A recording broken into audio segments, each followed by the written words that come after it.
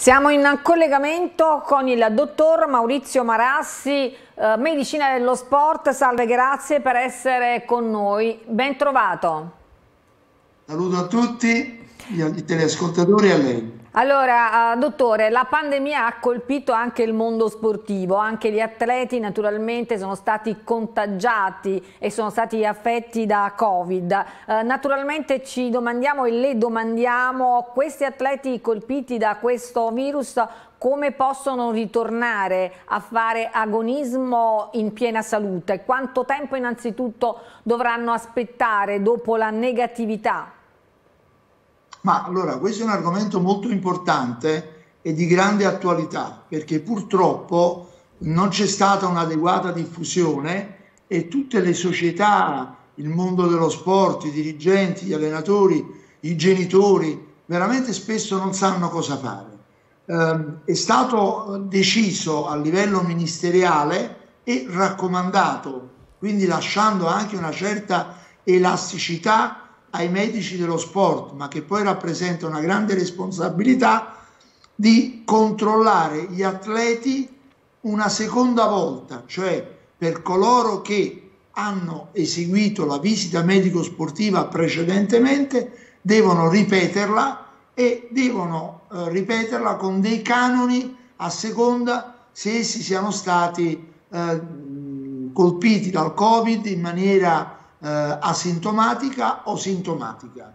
A parte che c'è una problematica importante perché tutti quelli che hanno avuto questo sciagurato virus hanno una conseguenza di base che spesso viene detto sindrome post-covidica dove si ha un'eccessiva stanchezza, una riduzione delle capacità respiratorie, insonnia, spesso anche calo di funzione renale, problemi polmonari e affaticamento, ma il problema principale è a livello cardiaco dove purtroppo molti atleti, anche in maniera silente, possono avere delle problematiche cardiovascolari molto importanti. Quindi, Quindi lei, come, abbiamo... lei, come esperto diciamo, della materia, cosa consiglia ad un atleta che purtroppo è stato colpito dal virus prima di uh, ritornare diciamo, a fare attività a livello agonistico? Perché chiaramente noi immaginiamo sempre il calciatore che mm, milita in una grande squadra, quindi ha tutta una struttura intorno che lo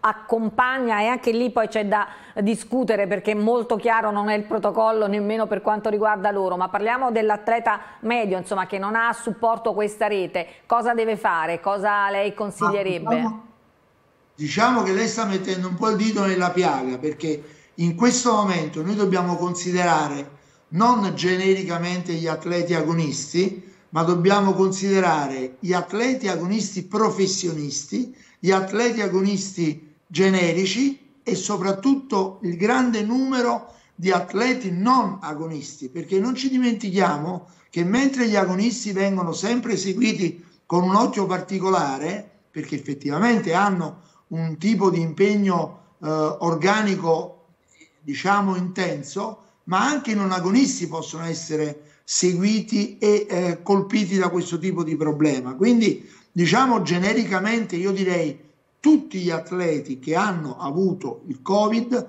sia esso in situazioni sintomatiche e non, devono fare dei controlli. Questi controlli sono stati regolamentati a livello agonisti, si sono divise tre categorie, vengono dette A1, A2, A3. A1 sono coloro che hanno avuto, diciamo, il Covid, ma in maniera del tutto asintomatica.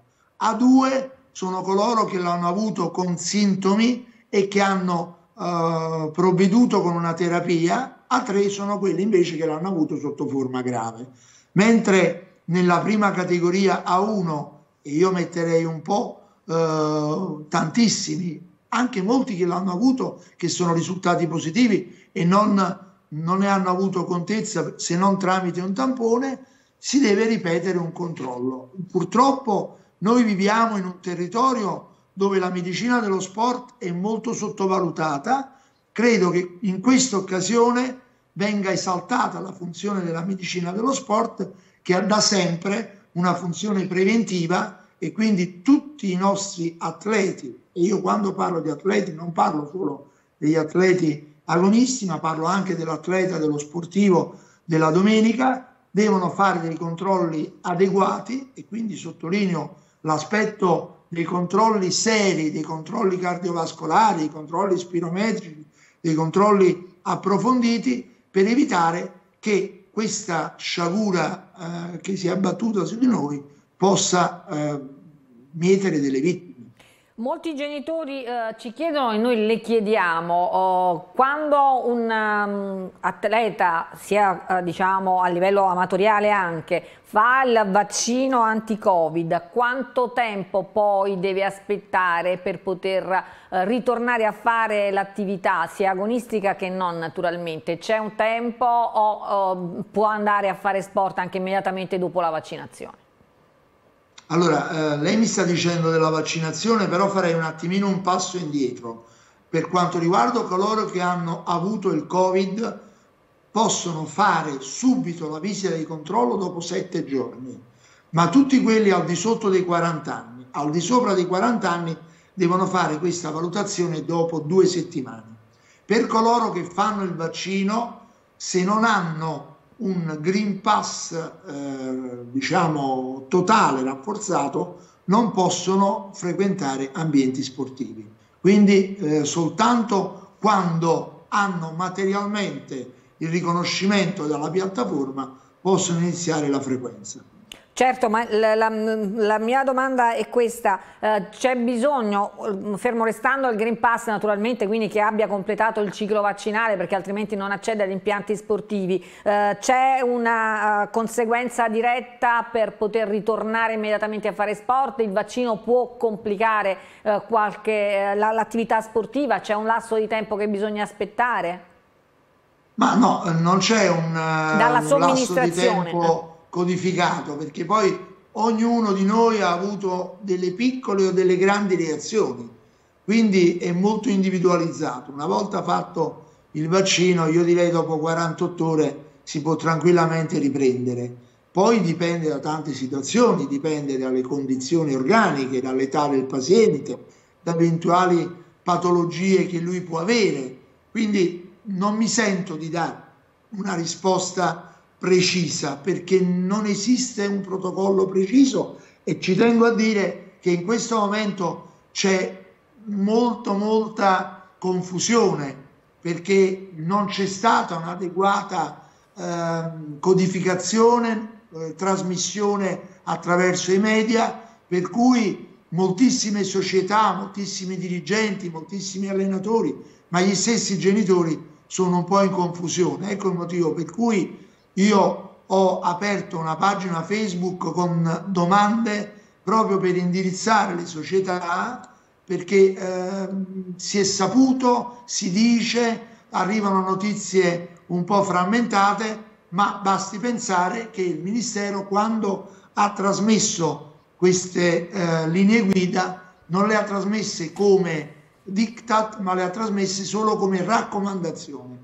Quindi ha un po' scaricato la responsabilità su noi medici e un po' se ne è lavato le mani. Certo, insomma, poi chiaramente la responsabilità medico-legale, insomma, è sempre dietro l'angolo per voi medici, siete proprio sotto la lente di ingrandimento, basta che qualcosa non va, chiaramente il medico ha sbagliato, a prescindere poi se è vero o meno. Eh, le chiedo un'ultima cosa prima di salutarci, eh, ha visto molti giovani che hanno avuto conseguenze gravi dal post-Covid?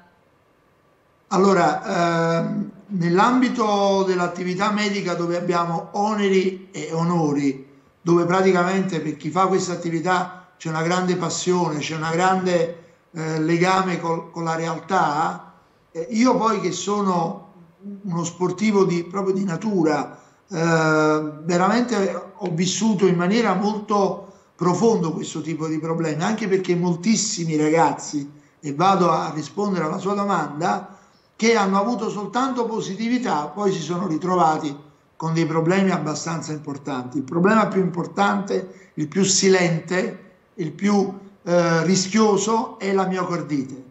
Quindi questo è il motivo per cui io inviterei tutti coloro che fanno sport, non soltanto gli agonisti, perché eh, sembra quasi che gli agonisti fanno sport e gli altri no parliamo di tutti i bambini che fanno l'avviamento allo sport, parliamo di tutti gli anziani che fanno sport per salute, devono urgentemente fare dei controlli perché la miocardite è molto silente, si può riscontrare tranquillamente nel momento in cui si fa una valutazione precisa e quindi l'assistenza che noi dobbiamo dare agli atleti in genere, agli sportivi in genere, deve essere di grande attenzione e profondità. Dottore, noi la salutiamo, la ringraziamo e le auguriamo buon lavoro. Arrivederci. Io la ringrazio di questo momento di cultura e sono sempre a vostra disposizione. Buona Grazie, arrivederci.